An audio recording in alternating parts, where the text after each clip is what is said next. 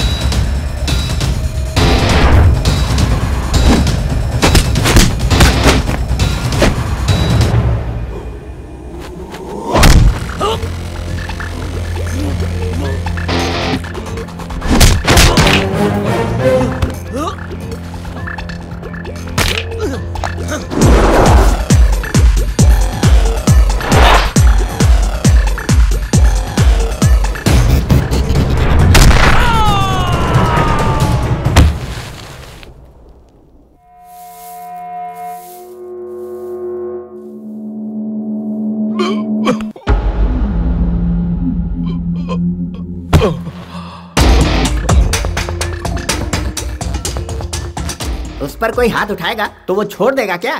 Karate करके clean बोल कर दिया।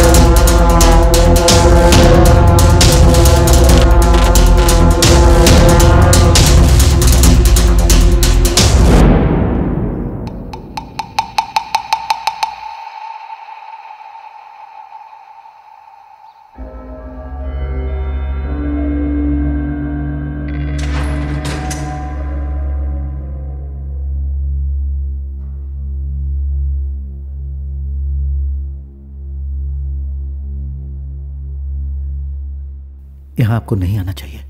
बेटा, आपने जो कहा उसके बारे में मैंने बहुत सोचा। दिमाग तो कहता है कि बिल्कुल सही फैसला है, पर क्या करें? दिल मानने को तैयार नहीं है बेटा। इसलिए मैंने अपनी बेटी की शादी तय कर दी है। ये बातें मैं तुम्हें जानबूझकर बता रहा हूँ। मेरी बेटी चाहती है, उसकी शादी का कार्ड सबसे पहले तुम्हें दे। इसलिए वो खुद यहाँ आई है।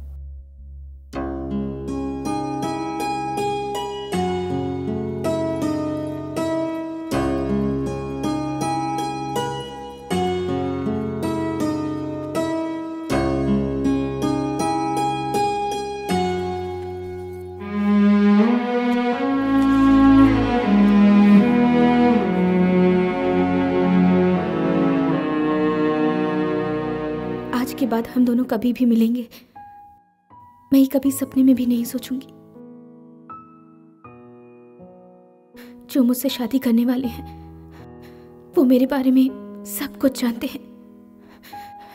बहुत अच्छे इंसान हैं, डिग्री होल्डर हैं। वो पुलिस में भर्ती होना चाहते थे। आज वो कमांडो ट्रेनिंग ले चुके हैं।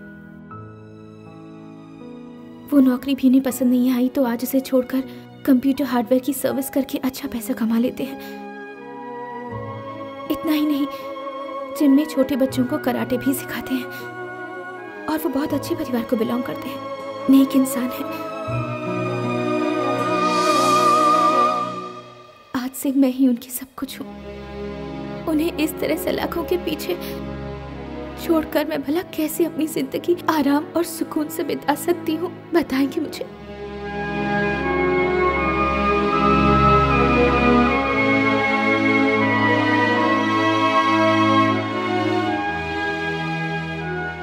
मुझसे कहा मुझे भूल जाओ, पर आपकी आँखों के आँसू मुझे ये बता रहे थे कि आप कितना चाहते हैं।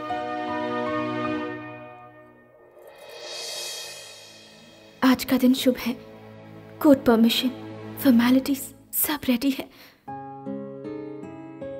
ये शादी अभी यहीं होगी। अगर नहीं हुई तो कल के बाद आप चाहकर भी मुझसे नहीं मिल पाएँगे।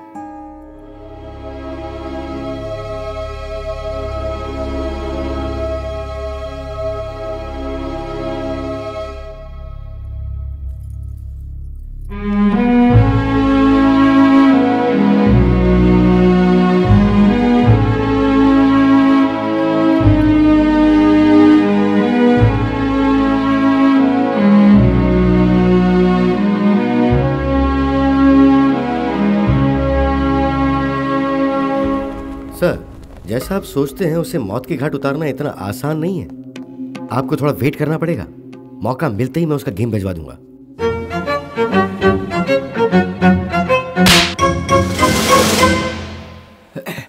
क्या हुआ? ऐसा उन्होंने क्या कहा जो तो छोटी सी बात कर छोड़ूँगा नहीं इसे मैं। मुझे बताओ क्या हुआ? एक हफ़्ता मेरी गुलामी करेगा क्या? ये पूछ रहा था। ठीक है। कैसी गुलामी? कैसी गुलामी? मतलब मैं एक हफ़्ता नहीं नहाऊँगा मेरी मर्ज़ी। अरे यार मैं रॉयल फैमिली से हूँ। रॉयल फैमिली वाले नहीं नहाते हैं क्या? नहीं सर रॉयल फैमिली वाले खुद नहीं नहाते उन्हें नहलाया जाता है। लेडीज़ नहलाती है तभी मैं नहाता हूँ। तो ये बात हाँ। सर आप मिडिल क्लास वाले क्या समझेंगे ये बात? अभी से मैं क्या जवाब दूँ? क्या हुआ सर? आप बहुत अपसेट हो रहे हैं ना? आपका फेस तो इरिटेटेड लग रहा है। अरे नहीं नहीं नहीं नहीं। अब अच्छा सुनो। हैं? वो आंटी नहलाएगी तो चलेगा?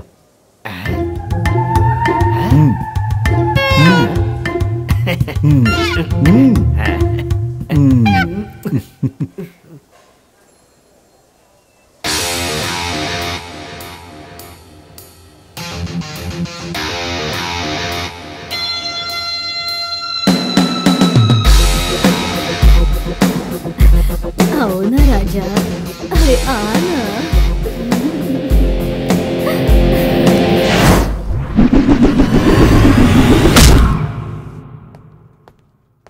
क्या बात क्या है? सर सीबीआई का एक ऑफिसर आया है।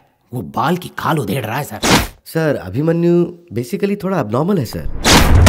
वो किसी से भी बेवजह मारपीट शुरू कर देता है सर। एक बार मैंने बहुत प्यार से पूछा तुमने ऐसा क्यों किया? मुझ पे ही हाथ उठा दिया उसने। कोई रास्ता नहीं था इसलिए उसे रस्सी से बांधकर अलग ही सेल में रखते हैं। उस वक्त रात के साढ़े आठ बजे थे और कैदियों के सी ब्लॉक सेल से अचानक अलार्म बजने लगा। हमें बाद में पता चला कि अभिमन्यु ने कांस्टेबल को मार के वहाँ के सारे ताले तोड़ दिए थे और सारे कैदी वहाँ से भाग चुके थे। हम उसे ढूंढ कर उस तक पहुँचे तो उसने सीधा बिल्डिंग में आग लगा दी। तब हमें कुछ समझ नहीं आ रहा था कि क्या करें सर। फिर मैंने कमिश्नर साहब को फ़ोन करके बताया तब उन्होंने शूट करने का ऑर्डर दिया ताकि हालत कंट्रोल में की जा सके। फिर अभिमन्यु को हमने बाँध के रखा है सर इसीलिए वो अभी तक भाग नहीं पाया। है हमने जो कुछ भी किया उसका स्टेटमेंट तैयार करके कमिश्नर साहब के ऑफ़िस में भिजवा दिया है। ये उसकी और एक कॉपी है सर। ये तो मेरे कुछ पल्ले ही नहीं पड़ रहा है। कुछ पढ़ाई लिखाई की होती तो पल्ले पड़ता ना। कितने बजे काम को अंजाम देना है? आज रात ठीक साढ़े आठ बजे।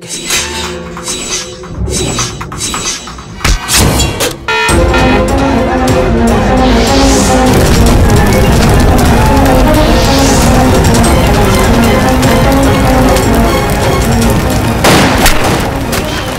आठ बजने वाले हैं।